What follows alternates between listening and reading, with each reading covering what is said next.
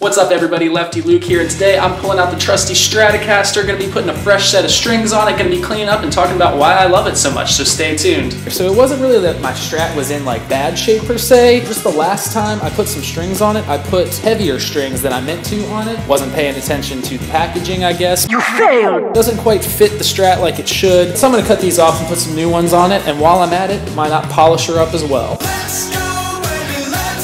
So the first thing, obviously, you want to do is cut off the strings. Careful, don't poke your eye out, kids.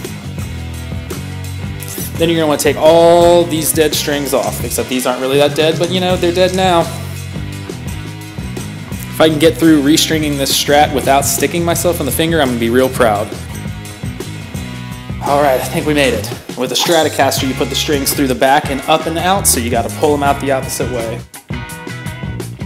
All right, so now we got the dead strings off it. So what I like to do next for my Strat is just clean it up a little bit, you know?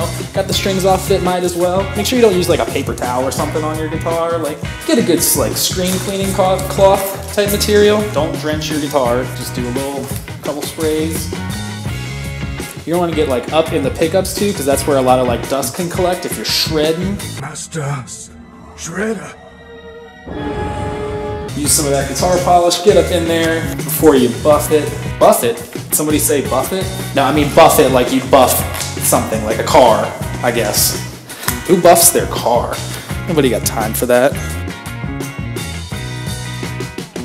Alright, so now that you got her nice and polished up and ready for some fresh strings, it's time to break out the fresh strings. Now, like I said before, I used the heavier ones before and I regretted it, so I like to stick with just like a classic gauge string. I like the Ernie Ball regular Slinkies. No, Ernie Ball is not sponsoring this video, but they are welcome to sponsor ones in the future as I drop their guitar strings on the floor. You failed! Just a 10 through 46. And I like to start heavy and then move light. Uh, some people say you should alternate them that's fine. But I like to go heavy to light. Whoa, just take it easy, man. Kind of lets the neck breathe a little bit as you get them adjusted on there. And I don't need to tell you how to do the little details because you know how to do that. And if not, there's other videos out there. What's up, you guys? Marty Schwartz here. I like to use a string winder when I first get going. I like the electric ones too, those drills. I don't have one, but I've used them in the past. So yeah, that's the 46 gauge string I put on the low ends. The low E, next we're going 36, and then we go down from there. Watch out for these loose strings up top before you cut them. You might want to bend them back a little bit so you don't, again, poke your eye out. Restringing a guitar is dangerous. You got to be careful. Got to get a little stretch break in there as well. Rehydrate, of course. I'm drinking sparkling water and cranberry juice right now. Pretty hardcore stuff. I know, I know.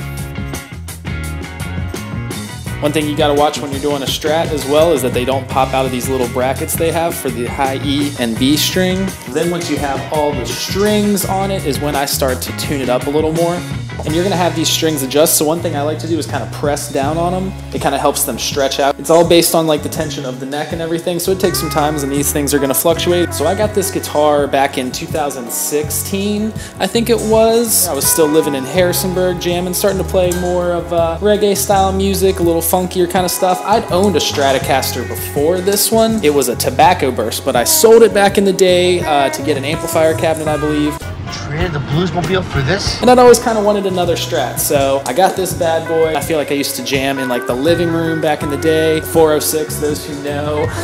and then ended up playing it a bunch with Iron Lion. Shout out to Iron Lion. I'm pretty sure every show I played with him I had this guitar, except for like one or two maybe I would have used the SG, but had a lot of fun and it always was a sturdy and go-to guitar that you could still get some silky sweet smooth tones out of that had a really sick skank for the reggae tone as well. Just always a dependable guitar guitar. All right, so now that I got the strings approximately where I think their tension should be, I'm gonna grab a tuner and start tuning this bad boy up. And now's when you can actually start tuning it and start getting into each individual string and what it should be. It's gonna pull sharp, so if you have to tune them up, you might wanna tune them up a little sharper. That way they kind of correct back into the right territory. The higher strings always make me nervous risky business. I've broke strings doing that before, so sometimes you may not even be able to tune that highest one up yet, but give it time, let your Stratocaster adjust. It's so worth it for the tone that you get out of it. Stratocasters in particular are just such an expressive instrument, like you can really do a lot of bends, a lot of pulls, a lot of double stops.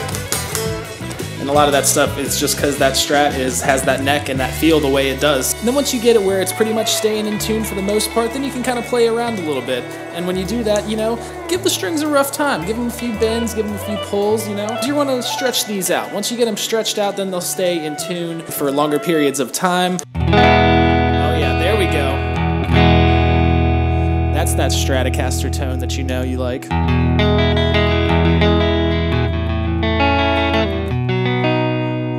That's just guitar going straight into this module. No pedals, nothing like that. And that's the great thing about a nice Stratocaster, especially when you put those fresh strings on, just that bounce you get to them.